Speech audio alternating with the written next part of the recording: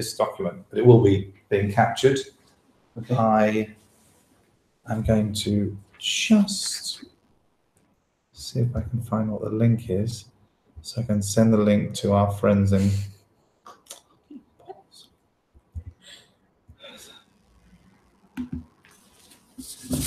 And we're going to try and rattle through this, aren't we? So, yeah, so what is Oh. the, Yes, in theory. When you get through Um, this, and it's okay to ask questions though, even though other people might not have those same questions. Of course, it's okay to ask questions. Um, but what it's not okay to do is to not have the link. Damn it! I closed um, closed and put the link on the Trello board to the actual video, so later on they'll be able to watch it. Okay, that's that's more, so I can just send it to everyone because we've got the back channel running, which is Slack. Mhm. But because I thought keep it simple, I don't want Slack to be running from this computer as well to save processing power. And we're off. Okay, good. So let's get cracking. All right, so we're doing the uh, Cambridge International Examinations uh, chemistry paper. It's paper four uh, from uh, 2013, May and June. And this paper is the one with uh, structured questions. So we're going to start on uh, question one. Uh, it says, what is meant by the term standard electrode potential? So uh, you need to answer there to say that the uh, standard electrode potential is the potential of an electrode relative to a standard hydrogen electrode. Um, and you could put in some standard conditions there as well. Um, standard conditions are uh, one atmosphere pressure uh, and 298 Kelvin uh, as the temperature. These are the, the, the standard conditions. So um, you're saying the standard electrode potential is relative to the standard hydrogen electrode, and you're mentioning some standard conditions. Do you want to type any of that in as well, or? I don't know that I can actually multitask. Actually, it's I, Okay, I'm, I'm finding it difficult to do that. okay, Uh, maybe once I've kind of got going a bit, we'll have a go. okay. all right. Um, but uh, if I started trying to write there, Mm. it'd look, um, Uh, uh, no, I mean, I meant type. So like if you go to here yeah, that would be you click in that would be bad, would it? Yeah. Not bad. It's just okay. a definition. Yeah. Yeah, it's, easy. it's an easy one. Sure, sure. Okay. Right. Okay, so, but I have to draw something here, don't I? So, Yeah. okay, so the next question uh, follows on, and it's saying, well, we've got to determine the standard electrode potential, ACP, of this particular electrode, iron 3 plus, iron 2 plus. So whenever you're doing one of these questions, uh, you're expected to, where's my, Maybe Pick that's it up, you on- got to touch it. okay, okay, Yeah. that one up there. Okay, Yeah. so for these kind of questions, uh, you're expected to do, excuse me, all right. this is Probably take, easier to do undo. Um, Oh, is it? On the Okay. computer. okay, all right, Uh, it's all right. Don't worry. It's going to take a bit Yes. of time. Okay. this. all right. So you. No, you, it. you want to select it. That's it. That's it. Okay. It. So you're going to have a couple of uh, beakers here, one on the left and one on the right. And um, you've got to show that in each beaker you've got an electrode. One electrode there, another electrode over here. And these electrodes are going to be measuring a potential difference. So you've got to have a voltmeter between them. There it goes. And I'm just connecting the wires up to the electrodes there. That's the voltmeter. And sometimes you see uh, this labeled as a high resistance voltmeter because we actually want to measure the voltage rather than allow electrons to run around the circuit. So by putting a high voltage in there, sorry, a high resistance voltmeter, uh, we measure the voltage properly without uh, the uh, current flowing too much through the voltmeter. And then to complete the circuit, uh, just drawing across there, that's called the salt bridge. I'm finding this pen. That's all right. Okay, all right. So we've got uh, two electrodes, one high resistance voltmeter, uh, and then each of these electrodes is pointing, uh, dipping into some liquid there, some on the left, uh, some on the right. And uh, because we're measuring relative to a hydrogen electrode, one of these electrodes has to be the hydrogen electrode. Hydrogen is a gas, and so we've got to surround that electrode with a bit of glassware here. Just like that. And we're going to pump hydrogen in there. That's the hydrogen gas going in. And then in here, in the solution, we've got hydrogen ions in solution. So that's some kind of acid. It could be hydrochloric acid, it could be sulfuric acid. But the point is we've got hydrogen gas and hydrogen ions, and there's an electrode here, and you could label that up as a platinum electrode. And because we're under standard conditions, the concentration then of the acid is standard one mole per decimeter cubed. So that's uh, the standard hydrogen electrode, but we're wanting to compare it, aren't we, to the this electrode over here, iron 2 and iron 3. And the thing you have to watch out for here in your exams is that um, we're asking here um, for the potential between an iron 3 solution and an iron 2 solution. So those are actually both in the solution over here. There's uh, iron 3 plus in solution and iron 2 plus in solution. And because they're both in solution, we don't have so far labeled up the electrode. So that has to be a platinum electrode as well. And then because we're under standard conditions, and this is where um, some students make errors, because both the iron 3 plus and the iron 2 plus are in solution, and we've got standard uh, conditions, both of those are one mole per decimeter cubed for the iron 3 plus and one mole per decimeter cubed for the iron 2 plus.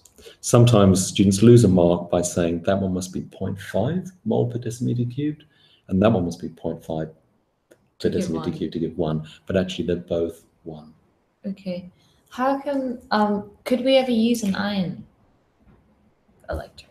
Well, does that work? Okay, well, no, because um, if you put an iron electrode in there, then instead of looking at the uh, reaction between iron 3 plus and iron 2 plus, you're starting to look at the reaction by introducing iron in there as well. Okay. So you'd then be looking at the reaction, sorry, between iron and hydrogen, iron 2 plus, or mm. iron and iron 3 plus. And actually, you know, you're wanting, aren't you, to focus on the reaction between iron 3 plus and iron 2 plus. So that's why you have to have the platinum electrode in there, because the platinum electrode is very inert and it doesn't affect what's going on in solution. Okay. Um, and then the other thing you might label up on this diagram as well is the temperature, we said that before, didn't we, is 298 Kelvin, and the pressure is one atmosphere. Now, atmospheres is um, not strictly an SI unit. So for pressure to be properly uh, consistent, you should have the SI unit for pressure is pascals. So one atmosphere is 10 to the 5 pascals. Now, they don't mark you down in exams, so if you can't remember what's the pressure in pascals, you think, oh, it's just an atmosphere, write down one atmosphere, and they say, okay, I'll give you the mark. Um, but you know, to be good, uh, you should have SI units throughout, and that gives you uh, 10 to the 5 pascals.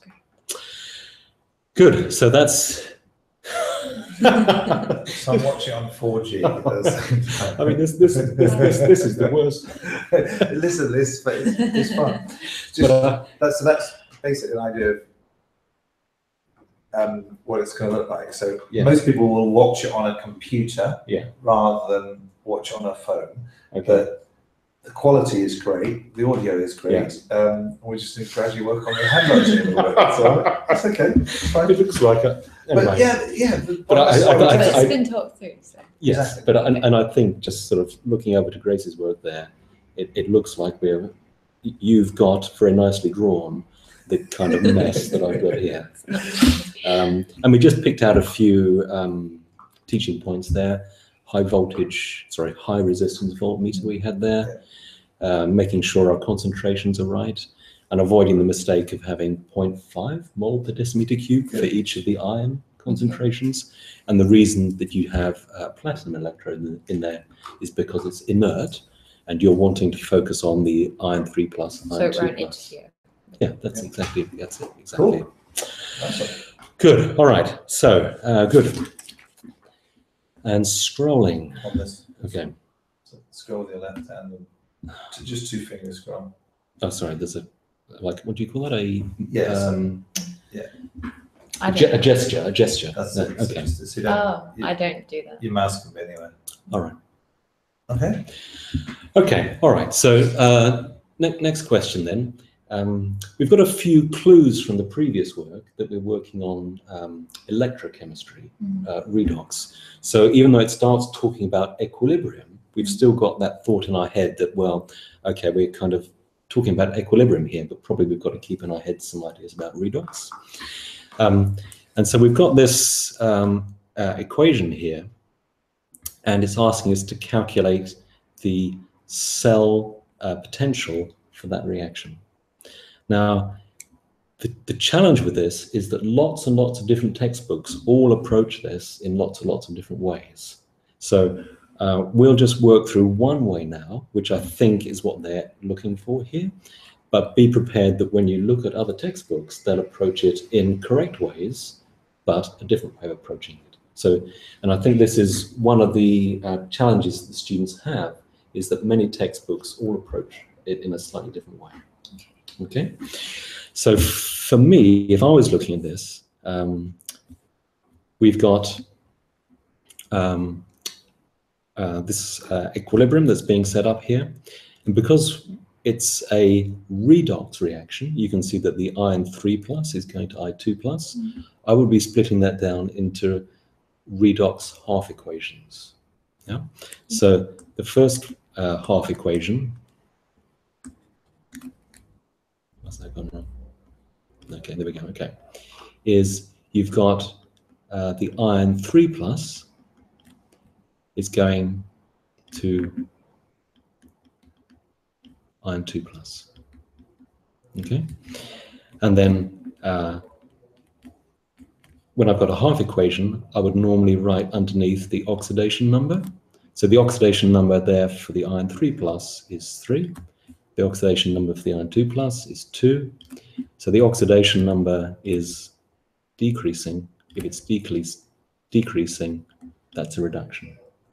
And the mnemonic that a lot of students keep in their heads Mm. is, do you have, do you know that one? Yeah. Oil rig?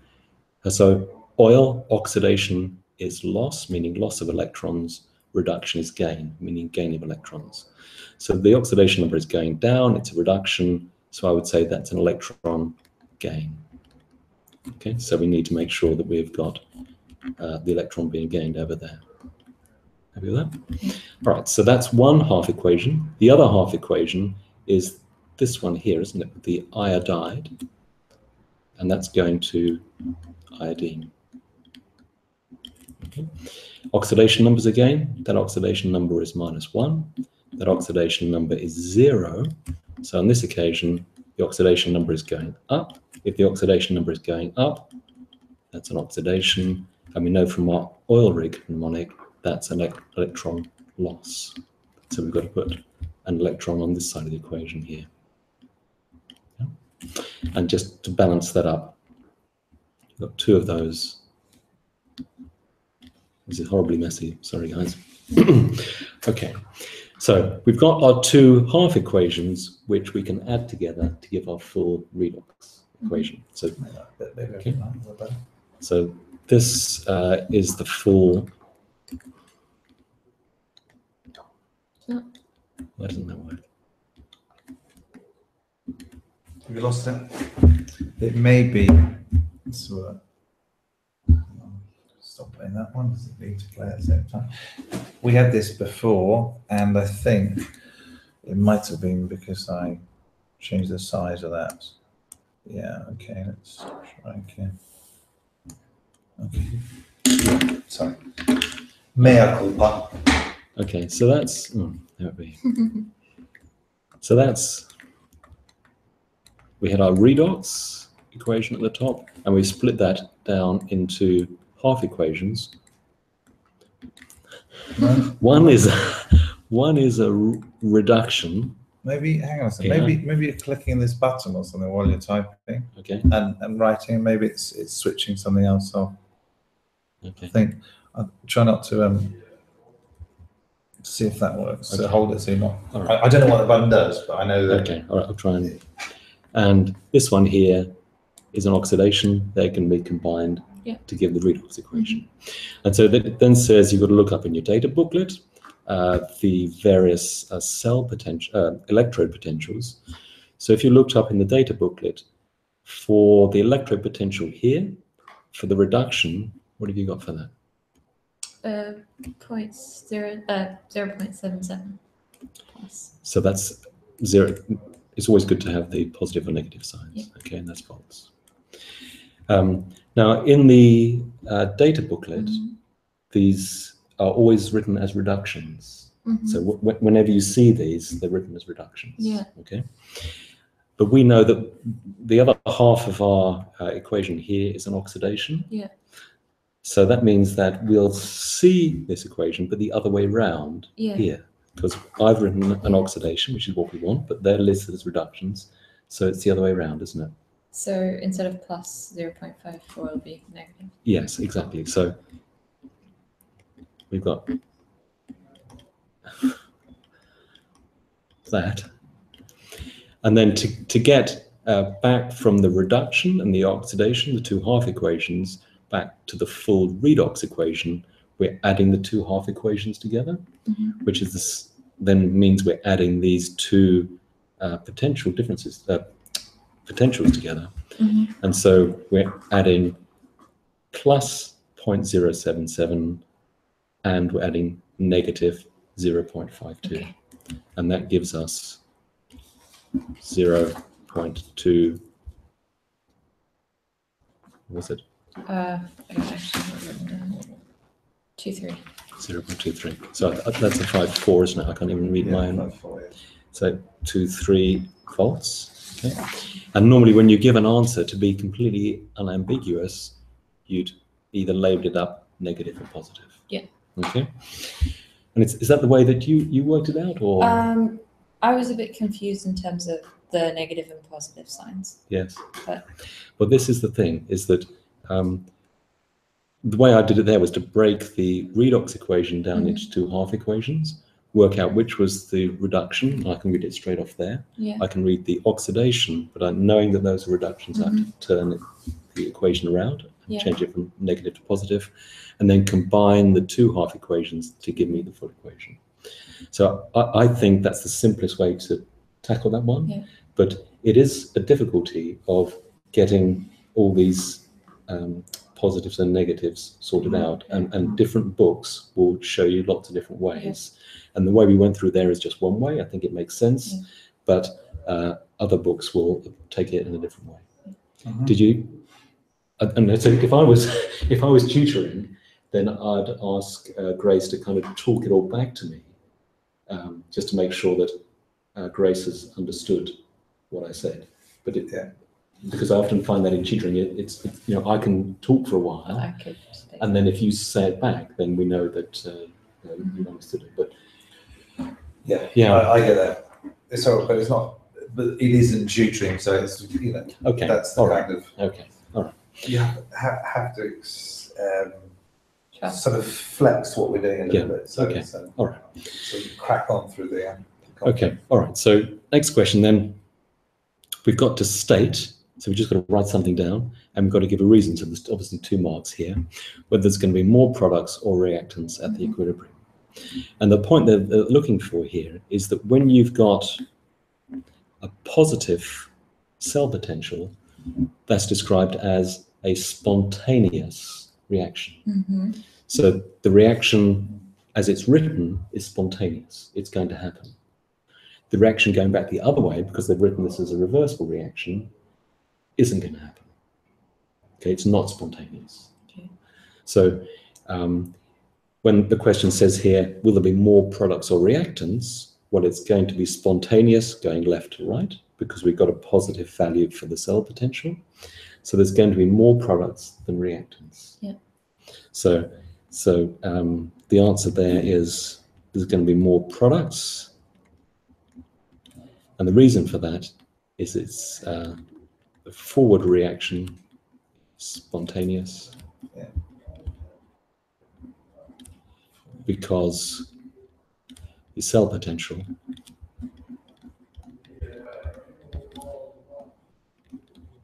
was positive. Why does the positive sig- why does why is that spontaneous and All right. This is so. Um, in the syllabus that you looked at last year, did you look at um, uh, the topic of entropy? Yeah. Okay. All right. So, um, oh okay. So the criteria for something being spontaneous is that entropy increases. Yes. Don't you remember that? Yeah. Or entropy is the amount of disorder. Yeah? So you might say the criteria for something being spontaneous is that S increases. All right. And um, there may be part of a syllabus that looks at the uh, relationship between entropy or Mhm. Gibbs free energy and the cell potential. Yeah. And when you look at those equations, you see that um, that if the cell potential is positive, that's the same that's- as entropy increasing. Yeah. Okay, so it, it'd be a lot to sort of dig into that now.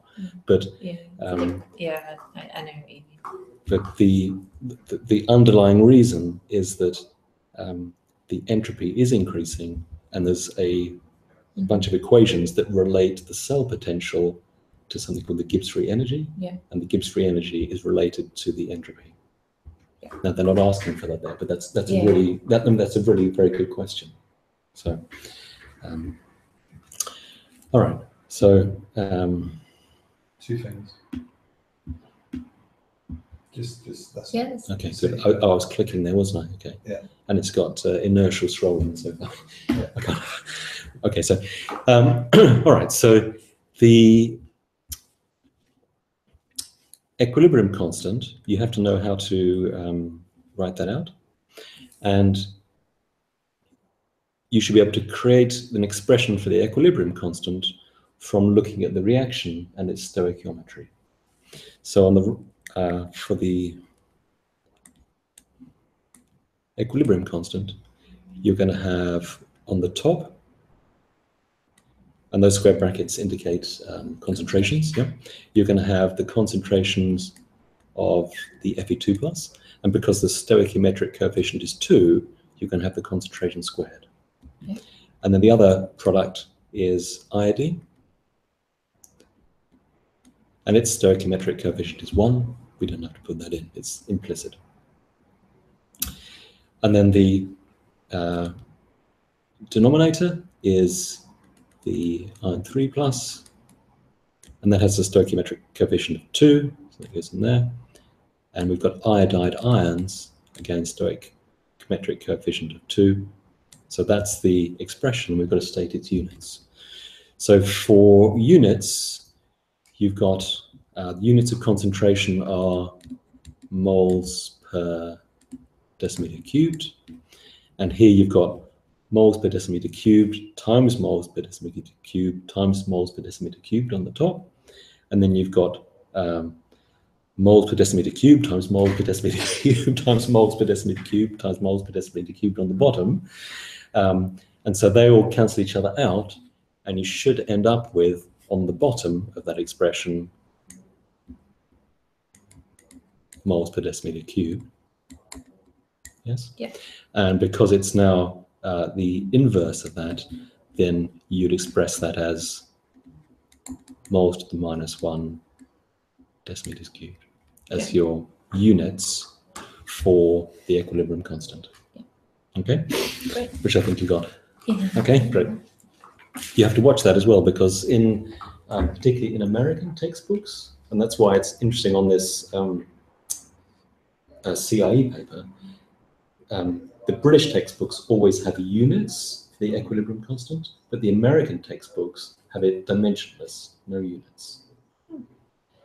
And I wasn't sure with uh, Cambridge International exams whether they went for the American way or the British way, Mm. and they jumping for the British way. So again, that's just something to watch out for. That you could suddenly be reading some American textbooks and they say that they should be dimensionless. Okay. Okay, but for as far as you know, because they're making the point of asking for the units, we have to know how to work out the units. Cool. And they ask for the units. Yeah. So. Brilliant. All right, good. okay, so the um,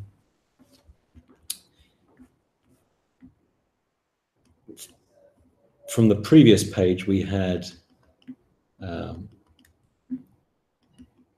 iodide ions, didn't we?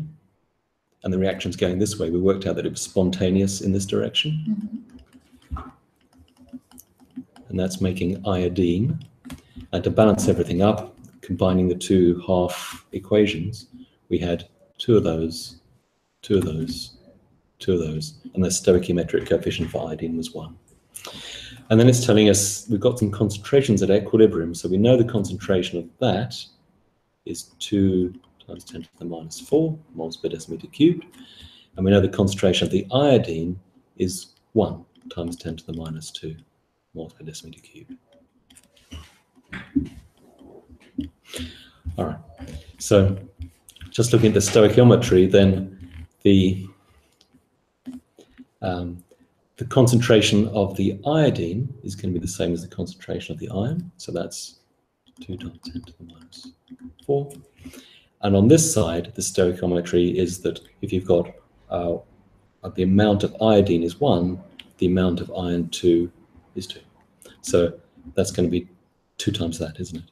So you've got 2 times 10 to the minus 2 moles per decimeter cubed. So we've just uh, looked at the equation, worked out the stoichiometry, and then we use uh, that to plug all those numbers in to the expression that we came up for the equilibrium constant just now. Yep. Um, so we've got uh, 2 times A tiny bit bigger if you like. 10 to the minus 2, and that was being squared, wasn't it? It was. Yeah. And we've got the concentration of iodine, which is 1 times 10 to the minus 2. And then uh, the denominator is we're doing 2 times 10 to the minus 4, and that's all squared. And then we've got 2 times 10 to the minus 4, and that's all squared. And if you work that all, all out, Mm. then you end up with 2.5. Okay. times 10 to the power nine. Okay, and we know the units for that because we worked them out earlier on should be given, which was moles minus one decimeters cubed. And at this point, we can just have a quick check because would you say the equilibrium constant is large or small at that point? It's big. Yeah, it's two times 10 to the nine. And when you get big equilibrium constants, does that mean you've got mostly products or mostly reactants? Mm. Well, I'm going to say mostly products. Good. Yeah, that's right. When the equilibrium constant is big, you've got mostly products. Uh, and so that we can just check back to what we said earlier on, uh, because earlier on there was a question for us to predict would we have mostly products and mostly reactants? Yeah. And we said, oh, we think it's mostly products from the fact there was a positive value to the uh, cell potential. And then you asked a question about why is that? Yeah. The spontaneous reaction. Um, and, and now we've done the calculation, and it's true that the equilibrium constant is large, and that connects back to the answer we had earlier. So, just as a kind of exam technique, you'd say, "Oh, this is a really big equilibrium constant," and even if we guessed the question earlier on, we can go back and say it's definitely mostly products because we've got a big, big equilibrium constant. Yeah. With, can I ask something towards Yeah. that question? With that one, I I came up with there would be more products. Yes? But my reasoning was because I thought iodi- iodine would rather be in its ionic state, or it prefers to be in its i- its opposed to iron. So iron, iron would. It's easier for iron to go to. Yes. Do you get what I'm saying? I understand. So the, the answer they're looking for there is that um, the products are favoured because the forward reaction is spontaneous, Okay. which means it's going to happen.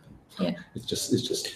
But you are sort of right. The reason that it's favoured is because of the difference in potentials and the Mhm. difference between the affinity of electrons and all that sort of stuff. But they don't want that level, do they? No. So I think if you check the mark scheme, it says Yeah, it's more it products that, yeah. and the cell potential is positive. Um, and if the cell potential is positive, then the reaction, the forward reaction is spontaneous. Okay. So that, that's the best language you, you, you could use there.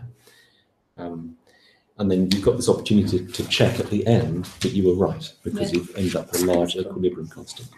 As a rule of thumb, if the equilibrium constant is one, then you've got about the same amount of product and Mhm. reactant. If it's much bigger than one, you've got mostly product. If it's much less than one, you've got mostly reactant. Yeah. So that's a kind of rule of thumb that you can use to, to do a quick check. Great. Sure. Can I pass the pen to Grace? Yeah. no, I'm just joking because Oh. yeah. because because Well, well, actually, you know, you could you could be speaking. They could. And the students someone could be could be- annotating. Yeah. okay, it's just I was just joking there because this this looks like kind of two year olds. Well, It's uh, fine. have you done that bit? Yeah, we've done this You've whole done it. Page. okay, all right, yeah. So we, we didn't fill in the, the, the spaces there, did we? Fine. Okay, so that But- bit's a but tiny you bit wrote them. smaller. Well, yeah, okay, Grace, why don't you write this bit then? Yeah. The pen. Okay, so probably for, for this one, yeah. Yeah, Okay, he just talked through it and Grace can annotate. See how that works. okay. Do you want to have a go? Yeah. Okay. Okay, so um, the reaction here, it's ethyl ethanoate is hydrolyzed slowly by water. Um, and you can see we've got a couple of products on the right-hand side, an acid and an alcohol. Mhm. And this question is all about kinetics. It's all about how fast or how slow a reaction is going. Yeah.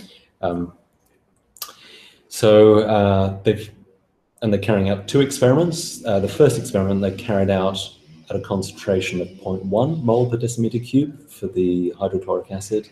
And then there's some more data down the page, isn't there? Yeah. Uh, I'm going to have to. Okay. Uh, That's You want to make it smaller? Is Yeah. So it says uh, they, they repeat this experiment, and the only thing they change is the concentration of the hydrochloric acid. Oh, that was the wrong button. Yeah. To Damn it. they double it, don't they? Okay, so Yeah, so they're, they're doubling the concentration Mhm. of hydrochloric acid, and they've repeated the whole experiment again. Um, they've got these results, Mhm. and so the first task is to take those results and plot them on the graph. Yeah. Do we need to do that? Uh, I mean, I, I guess That's fine, right? because later on we're going to have to use the graph, probably Should- draw tangents and things Yeah. like that. So it can, and you know, it's it's it's a tricky one, I think, uh, in terms of doing these kinds of. Yeah. Um, Should uh, I do a rough line? yeah, As to I mean, where you've got your points more or less. Why don't you do that? So. Mm, So they start at the same Starts starting there. concentration, and they've doubled the acid concentration. So is the reaction going to run faster or slower? faster. Okay, so we'd expect more Okay, of I'm the reactant. getting a pen. There you Oh, go. there we go. And this means that the, the reactant is being used up faster. Yes. Yeah. So getting that. Is that okay? Okay, It doesn't good. actually go down to the bottom, does it? Yeah. Okay. All right. So we've doubled the amount of hydrochloric acid, and the reaction is happening faster because the product has got used up more quickly. Okay, good. And uh, we drew the line of best fit. Normally, like in, in yeah. maths, you'd kind of use your wrist and do all that. Um, and it says use one of the graphs to show the reaction is first order with respect to the um, Back to the the- to the reactant ethyl ethanoate. All right, so there's a, a couple of ways of doing that. Uh, the first one is actually to measure the rates, because uh, to show that something is first order, you'd have to show that the rate is proportional to the concentration of the ethyl ethanoate. So at this point, I'll be writing rate in the proportional symbol. Yep. And then you've got that one, yep. To the concentration, you got your uh, square brackets. Oh, Uh, did you? Sorry. Yeah, you'd, you'd normally do square brackets for concentration.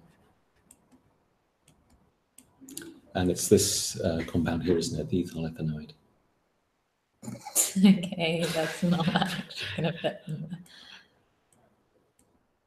It's all right, we're learning, we're working. on. Okay. Yeah, okay, all right. Yeah, we got it. So, and for a reaction to be first order, Mhm. you'd have uh, that rate um, um,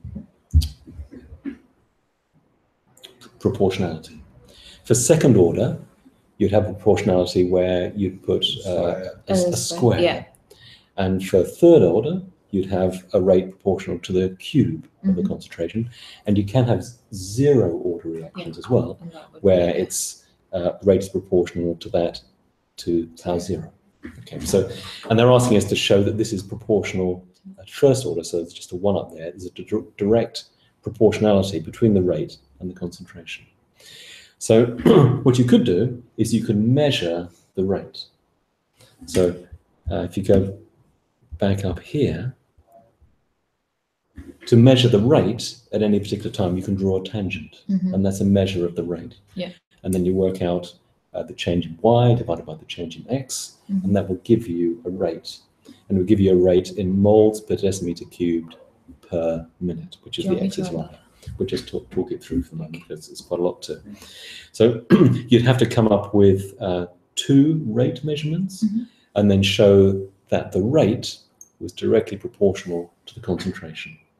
So that's the kind of that that is um, e- exactly doing this. You'd have a couple of rate measurements, a couple of concentration measurements, and you'd show that if you doubled the concentration, you double the rate.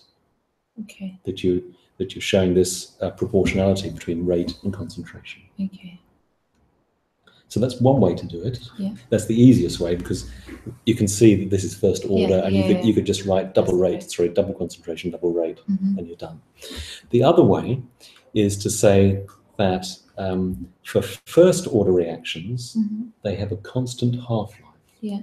So that's something you have to kind of remember. Yeah. Whereas is this is, is kind of almost sort of blindingly obvious that Right. you compare the concentration and the rate.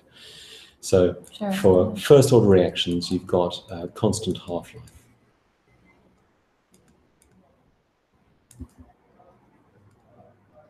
Yeah.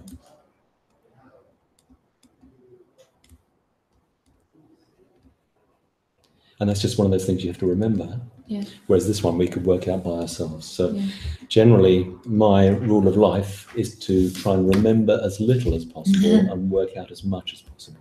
So if, if, if this was me in the exam, I would be doing this Yeah. because I could just say, oh, first order, Yeah. concentrate on Start with proportions. principles. Yeah. absolutely. But actually Yeah. remembering, I think, oh, is it first or second order was proportion, you know, uh, Mm. constant half-life? It, it- that's a kind of isolated fact that's not tied to any particular Okay. other knowledge. Um, so if you're good at sort of photographic memory or something, that's a good one to do, but it's one of those hard ones to remember. Um, but you could look in here, and in terms of the half-life, you would see what was the time that it took for the concentration to halve. So from two to one, the time that it took was about 62 minutes. Yeah? Yeah. And then to half again will be Yeah, go from 10 to 10 five. to 5. Yeah. Uh, and that's going to almost off the edge down here, Mark isn't it it? on there, Grace, so we pointed out, Sorry. yeah. So uh, if it's going from 10 till 5, it's going from about 62, wasn't it? Yeah. Yeah. All the way over to 5, which is Yeah. there. Yeah. I did it on my graph because it worked. So Oh, yeah. I did it with the half life. And Oh, then yeah, if you do it on your own graph, Mhm. there's enough space then. Yeah. Oh, I see. Okay, all right. But- Um, so I got uh, about 62 minutes for the first halving, Yeah. and it's going from 125 to 62, so that's 63 minutes. So, Good as. Yeah. So- lines yeah. good? so we've got a constant half-life. The Yeah. first halving was 62 minutes. The second halving was about 63 minutes. We've got a constant half-life. So So e- either of those shows that it's a first-order reaction. Um, which one did you do? I did the half life. Okay, because you remembered. I just as yeah. a fact. okay, all right. Uh, but you know, th- this is the, the thing with uh, chemistry. If, if you can work from principles and work from um, you know working things out rather than remembering them, then you're reducing the kind of cognitive load of, of, of things that you have to remember. Okay, good. So um, then you've got something very similar to do with uh, hydrochloric acid here.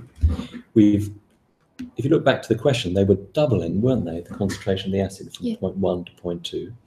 So if it's first order, you double the concentration, you should double the rate. Mhm. That's the meaning of uh, a first order reaction. And um, on this occasion, I guess what I would do would be to take um, the so-called initial rate, which is the gradient Yeah. when the reaction starts, and look at the gradient for 0.1 mole per decimeter cubed hydrochloric acid and the gradient for 0.2, calculate those gradients and show Yeah. that when I double the acid concentration, I double the rate. Because that's that's the that's a natural meaning of Mhm. a first order reaction. Is that what you did or Uh, yes, I ended up looking between those two lines, but I didn't look at. So you got you got some gradients and you showed that when you doubled the concentration, you doubled the rate. Yeah. Okay, good. All right. Good. Okay, so this is interesting. Um, so the rate equation. Well, if I could just borrow the pen for a moment. Yeah, sure. thanks very much. So. Um, Oh, Um, Bring it over a little bit. It'll be plug and play, so it'll work perfectly. Okay, so if you, we're, we're going to write the rate equation. So we've got um, the rate.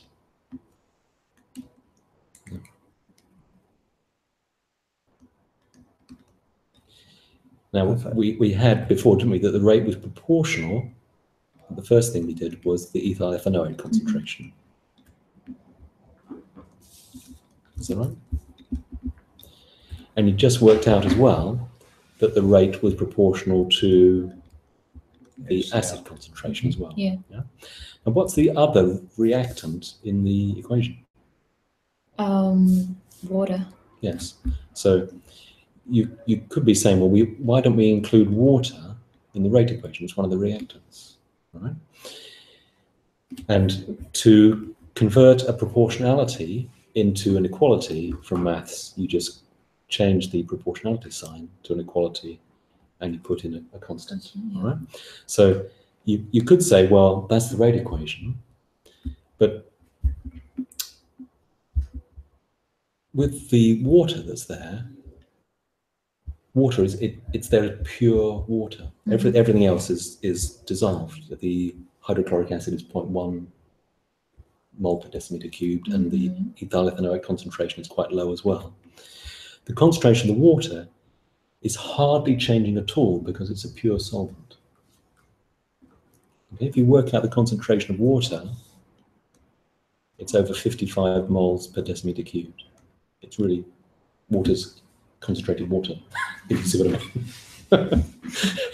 and so in this equation, it's so much, much more concentrated than everything else. Even if its concentration changed, it might be something like 54 point nine nine nine nine nine, something like that. So it's so constant, we can just say, well, actually, the concentration of water is constant, so we'll just bundle it into that constant that's there Yeah. already. So you can say, okay, so the rate is uh, a rate constant, and that should be a small k, by the way, times the ethyl ethanoate concentration times the hydrochloric acid concentration, and because the water is effectively constant, we've It's included it in the rate constant. Yeah.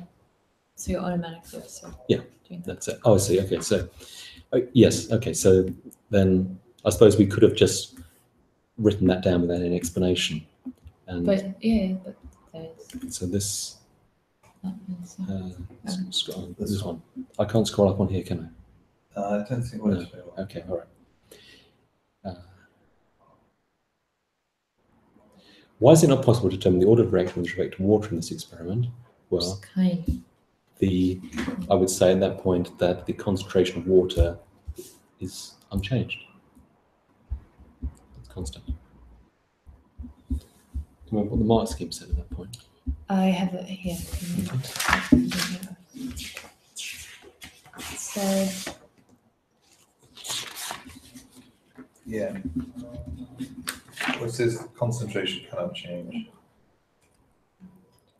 because it is the solvent or its concentration cannot change. Yeah. Well, it, it can change, but it's, the change is negligible. So um, we, we shouldn't use up the time now, but at some point you can do something like um,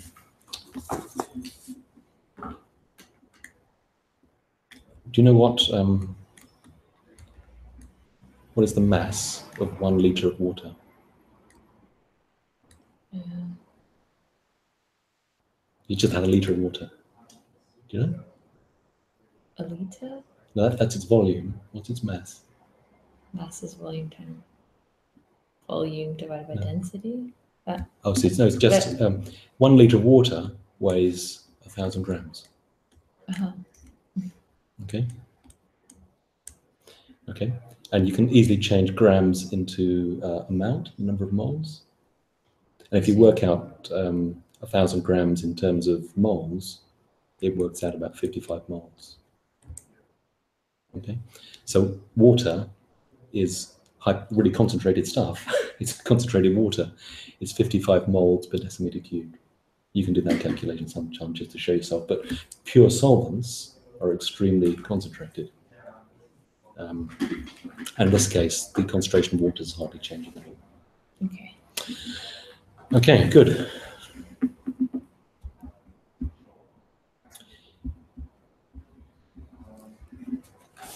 Okay, so you've got the uh, hydrochloric acid, and um, what they've done is that they've shown that the uh, reactant, ethyl ethanoate, that we've seen that its concentration decreases with time, but they're saying with the hydrochloric acid, actually when they tested that, Yeah. the concentration of acid stays the same throughout the reaction. Yes. Right? So, you know, what what is something that affects the speed of reaction, but itself isn't consumed? A catalyst. Yes.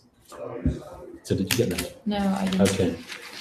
So that's that's a kind of, you know, if if, if we put that in say GCSE language Mm. and said, you know, what what are the things that affect the speed of reaction and actually don't get used up? Immediately you'd say catalyst. Yeah. and they've asked the same question, but in kind of A level speak rather than GCSE speak.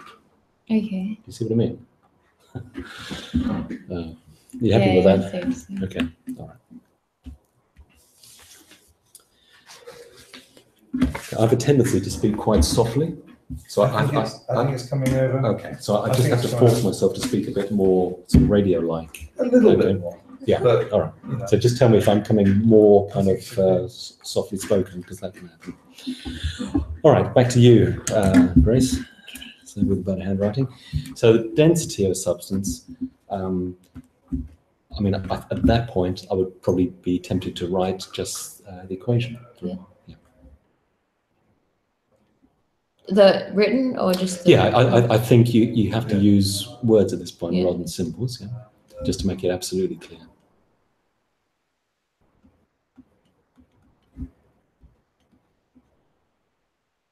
Okay, you want to check yourself on that one? per. It's per unit volume. Yes. it? Mm. You, you started off with a multiplication there. So what if I've that was, okay, it's right. just badly written. She meant. Yeah, so- totally. Yeah. If, if that was, this pen, it doesn't work. Yeah. right? if, if that was a um, equation, you would have written m divided by v. Yeah. wouldn't you? It's just it was awkward to write it out. Okay, so you have to use a data booklet then to explain why the density of iron is greater than that of calcium. Um, so you're looking at in the data booklet to try and figure out why you can get more iron into a certain amount of space than calcium. All right. So the things that you look up in the um, data booklet then is going to be uh, first of all, uh, how big are iron atoms compared to calcium atoms? Okay. Okay, because we're talking about volume here. All right, so how big they are. So what would you look up in the um, data booklet when you're looking at the, the, the space or the volume or the size of an atom? Ionic radius. Yes, you could have ionic radius, these are metal Radius, ions, or you could have atomic radius. Yeah. All right, so at that point, I would put down just here uh, the atomic radius for iron, or the ionic radius for iron.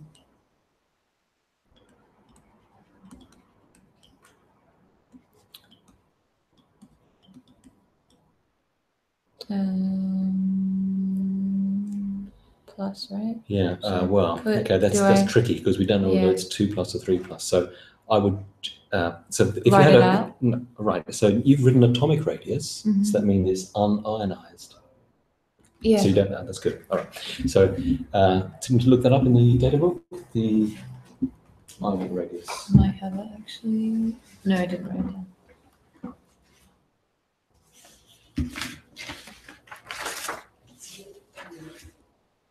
So it's point one one six. Okay, do you want to put that in? And what were the units for that? Um, nanometers. Okay, nano means. Very very small. Very, very simple. 10 to the minus. Love it. Nine. Yes, exactly. Yeah. All right. And the atomic radius for what was the other one? Calcium. Yeah. Okay. What do you get for that? Um, it's point one nine seven. Okay. Yep. Nanometers again.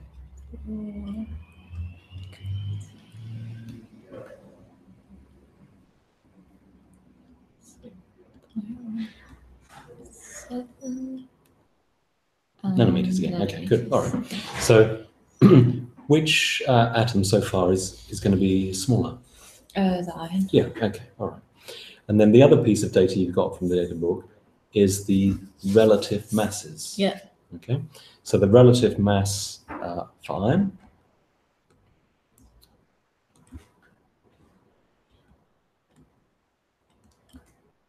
What do you have for that?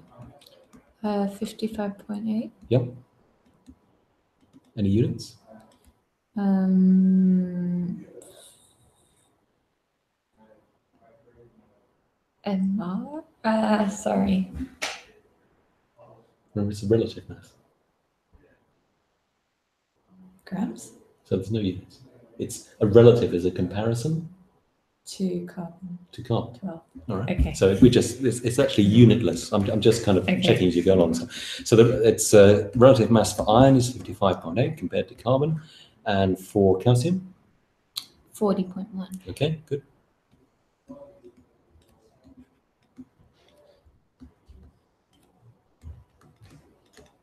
Okay, so at this point you'd say, well, iron is more dense than calcium Mm-hmm. because not only does it have relatively more mass, Yeah. the size of the atom is smaller as well. So you've got even more mass in a smaller volume, and so the density is higher. Great. Smaller. Um, And higher. Uh, bigger mass.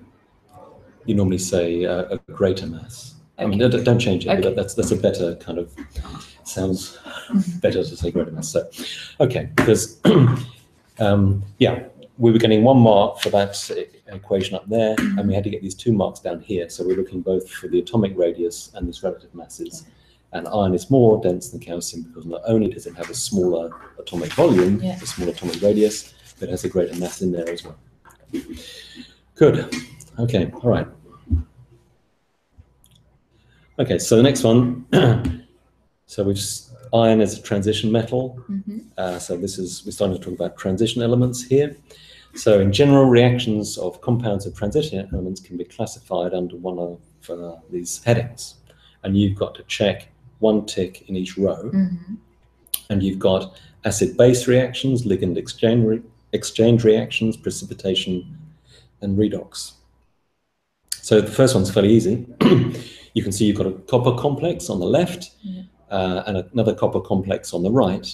And you can see that comparing those two complexes, they're basically switched ligands. Yeah. Um, so that's going to be ligand exchange. Okay. Uh, the next one, they're trying to trick you up because they talked about acid-base reactions and they've thrown Yeah, in an yeah. acid here. But again, you can see all you're doing is switching ligands. Yeah. Actually, you're just taking these six water ligands out from the copper and replacing it with the four chloride ligands. So Mhm. they're just trying to trick you at, at that point. Um, the next one, um, well, you can see here that uh, on the left-hand side, if you do oxidation numbers, the oxidation number of iron is Yeah. two. Uh, and on the right-hand side, the oxidation number of iron is three. The oxidation number is going up. Yeah. Uh, for iron, it's going down for chlorine. Yeah. Uh, so that is uh, a reduction and oxidation happening together. That's redox. Okay, so um, we- we're figuring all this out. We're not having to remember very much at the moment. the next one you do have to remember. Uh, you have to remember that uh, iron hydroxide is a precipitate. So you can see here that you've got This one.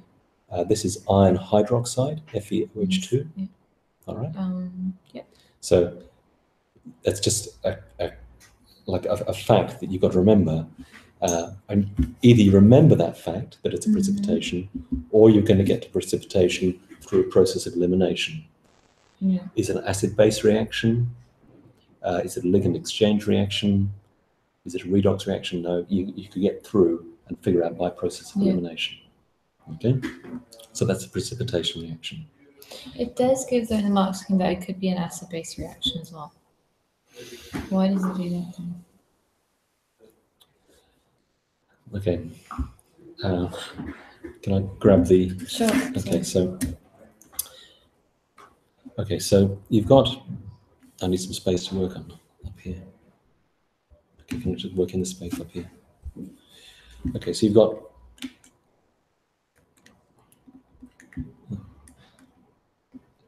You've got. uh,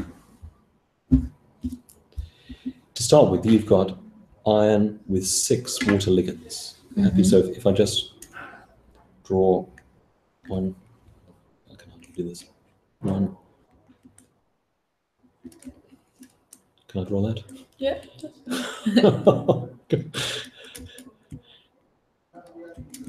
when you're drawing these, you put the O first because it's forming it. Bond, Uh, it's a coordinate bond, a dative one. They're quite fussy about that in the exams. So on this side, you're doing it like that as well. Yeah. All right. So that's your complex. Yeah. And what did they say? It was an acid-base reaction. So it, it's it could be both. So they've Yeah. put.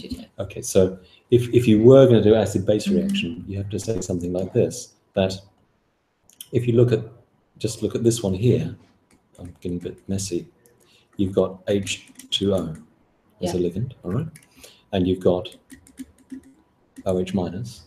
Your definition of an acid is a proton donor or a proton acceptor. Uh, proton donor. Okay, so in this case, this whole complex is going to donate a proton to that hydroxide there. All right. So it's so it's done it once from that ligand. You can do it again from another ligand. So it's donated a proton twice. And so what you've ended up with is basically Fe and it's still got the other four water ligands around it. Mhm. You see what I mean? Yeah. My writing is appalling. I'm sorry. Oh, you go. Okay. So it's true that that was an acid base reaction. uh, As well. and the, the proper way of describing iron hydroxide as a precipitate is it's a complex of iron with two hydroxide ligands and with four water ligands. So that's that's pretty tricky, and I, I don't know whether the syllabus actually looks at that kind of acid-base uh, behavior for iron hydroxide. It's easier to remember that um, It's a precipitate. it's a precipitate because sometimes they'll say um, add hydroxide to an iron solution, and you get a pale green precipitate of iron hydroxide, and on standing it changes to a rusty color. Okay. So that, that's a kind of test for um, oh, this one. So the easiest one to go there is just to say it's precipitate. Okay, next one. Uh, so on the left, you've got oxidation number uh, for iron is two. On the right hand side, oxidation number for iron is three. Clearly, that's a redox reaction. Do that. Okay. Uh, this next one, um, the, I mean, you, you could because it's it's always better to um, it's, instead of trying to remember things, to try and work from what you know. Mhm. So, for example, here, all you've got is a metal hydroxide Yeah. and an acid. Yeah. And when you're at GCSE, a metal hydroxide and an acid made a. What? So when you're at GCSE, Mhm. a metal hydroxide and an acid made Water and salt. a salt. Okay, salt plus water. So So th- this is just an example of an acid-base reaction. I mean, it's, it's, it's really just taking GCSE knowledge and uh, giving you it in A-level terms. So that one's acid-base reaction. Okay, so um, this one here mhm. um, is is again, it's actually an acid-base reaction Yeah. for exactly the same reason we looked at iron just now. yeah, So it looks like a ligand exchange, but in truth, it's a ligand. It's a acid-base reaction, which I think you got. Yeah, I did. Yeah. Okay. Good. Um, and the, the last one here, again, you can compare oxidation numbers. Oxidation number there is uh, plus three. Oxidation number over here is plus six. Yeah. All right. So there's clean oxidation going on. Yeah. The giveaway there, actually, did you see what this chemical was here? H2O2. Hydrogen peroxide. Okay, which is a strong oxidizing agent. Yeah. So for me, I just said, oh, means obviously this is a redox reaction Yeah. happening here, and then you check for the oxidation numbers. Great. Okay. All right, good. About all we've got time for. Really? Yeah. So we'll have to think about how, how the pace will work. Yeah. And we'll, we'll flex it. But it's okay. That's good. I mean, the, the, the, the quality of the video, exams. what? It is a two-hour exam. Exactly, which is why I think my general idea of this is to not do it, to go through the paper because cover the paper, but showing, because I think probably fifty percent of that you knew already, but fifty percent of it was really helpful. Mm. So I think that the trick is to To try and get into the- What's helpful for who? Correct, correct, it is. Um, so who knows? I mean, listen, we might have to change our minds about what we do. But I think that it would be, I think give us, Still. it's still recording, yeah, but it's not, it's only going out to our, our people. So it doesn't really matter. But I think, um, the, the key would be to experiment and just see. I mean, maybe next time we do, it, let's try and say, let, let's kind of or maybe work from it, saying, okay, um, given that they have had the mark scheme and they have had time, Hmm. they're probably going to work out these things and just might be to start at, okay, what are the things that you had problems with first? And then start from that perspective, Yeah. and then do those bits first, and then go, and here's a few of those, so that in the hour and a half, Yeah. you've definitely covered the questions that they've got as a group. So it's, so it's tailored to our students first, And then, uh, and then if other people go, yeah, to be honest with that paper, like, it was only the first two questions that I found that I had blank spaces. The rest of the paper's pretty. So perfect. we got Okay, that. because we had a conversation just before you came in, but Yeah, we did. but We- To, to do exactly that was to, to work out, you know, what things are still outstanding. Mm. From And that was the first you two. didn't- Okay, that's great. So, yeah. It's perfect. So you really saw it. So just shut up, Tom. That's what you say. Yeah. Was Brilliant. there, was there anything else? uh, um, I'm actually pretty good. I, the rest of the paper was pretty straightforward. You're The only stronger on the thing that I'm organic, not- aren't you? Yeah, the only thing that I wasn't sure about is DNA fingerprinting and if it's in the syllabus because I can't. I know we did Mm. electrophoresis, phoresis, Electrophoresis, phoresis, yeah. whatever stuff, but I can't remember if that's actually part of the syllabus.